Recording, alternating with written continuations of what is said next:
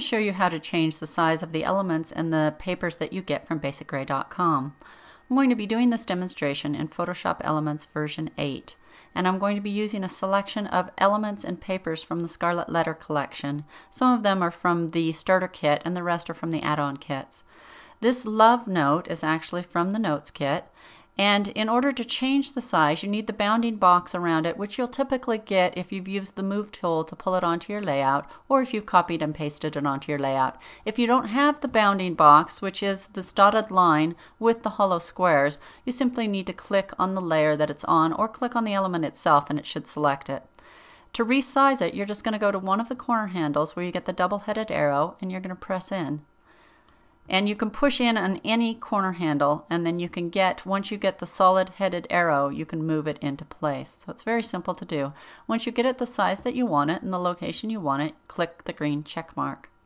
Now to change the size of the papers in this case I've used a 12 by 12 paper and I've changed it into a rectangle I'm going to show you how to do that. So first thing that I want to do is I want to turn off the layer that this demonstration or that this paper, this rectangular paper is on so that we can start new. I'm going to turn that off and here I've got the 12 by 12 sheet of paper and we're going to drag it on by using the move tool which is this tool in the top of the of the toolbar. Once I drag it on you can see it comes in as a 12 by 12 and I'm going to resize it and make it smaller by going to the corner handle and pressing in.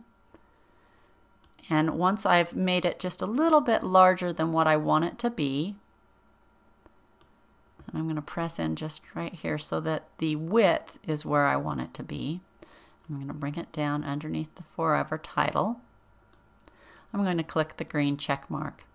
Now the way that I can turn this into a rectangle, I can do a couple of things. The first is to use the marquee tool and drag out a selection just below here, and maybe I want just a little bit more, and hit the delete key, and that will get rid of that excess paper.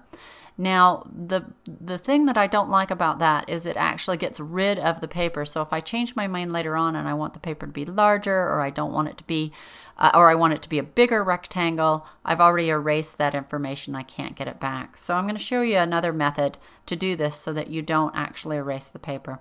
So I'm going to undo by hitting Command Z if you're on a Mac, Control Z if you're on a PC.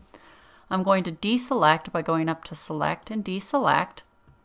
Now what I want to do is drag out or, um, make a new layer and actually make a rectangle the size that I want this paper to be. So the first thing I'm going to do is turn off the paper so that we can see the rectangle. I need to start a new layer by going to this new layer icon which is a square right here with the corner turned up. Now for those of you working prior to this version of Photoshop that'll actually be at the top of the layers palette rather than at the bottom. I'm going to click on it. It has it brings up a new layer here and I actually want this new layer to be below the paper, so I'm going to click and drag it below the paper layer. Now to make my rectangle, I've got the marquee tool selected. I click and drag out a selection that I think is going to be just a little bit bigger than a photo.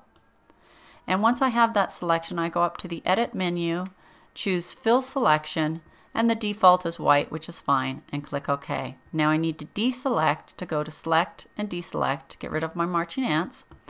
Now I'm going to select the paper layer, turn it on. I see that it covers that rectangle, which is what I want. And now I want to attach it to the rectangle. To do that, I go up to the Layer menu and I choose Create Clipping Mask. For those of you that are working on a prior version of Photoshop Elements, this command will be called Group with Previous. The keyboard shortcut, however, is the same, which is Control G on a PC, Command G on a Mac. And you can see that it attaches it to that rectangle. So that's how you would change the, the size of the elements and the papers that you get from basicgrey.com.